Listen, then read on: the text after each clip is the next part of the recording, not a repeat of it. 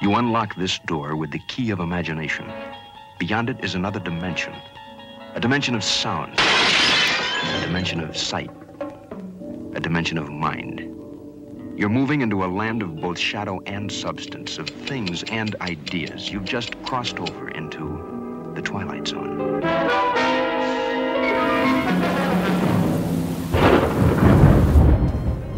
Hollywood, 1939. Amid the glitz and the glitter of a bustling young movie town at the height of its golden age, the Hollywood Tower Hotel was a star in its own right, a beacon for the show business elite.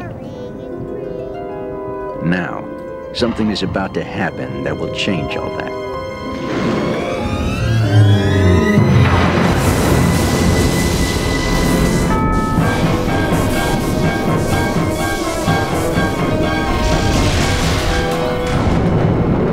Time is now, on an evening very much like the one we have just witnessed. Tonight's story on the Twilight Zone is somewhat unique and calls for a different kind of introduction. This, as you may recognize, is a maintenance service elevator, still in operation, waiting for you.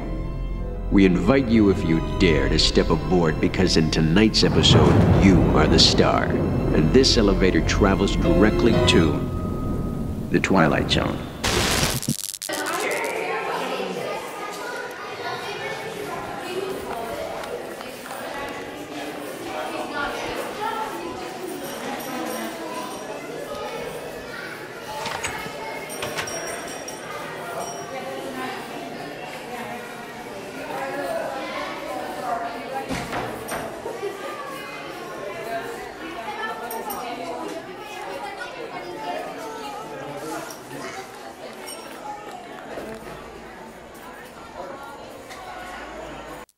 You are the passengers in a most uncommon elevator. About to take the strangest journey of your lives. Your destination unknown, but this much is clear. A reservation has been made in your name for an extended stay. Wave goodbye to the real world.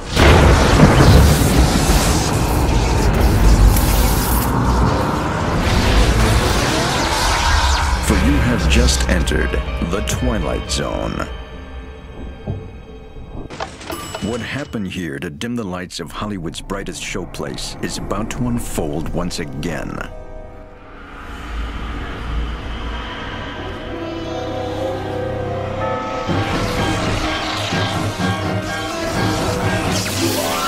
One stormy night long ago, five people stepped through the door of an elevator and into a nightmare. That door is opening once again. But this time, it's opening for you.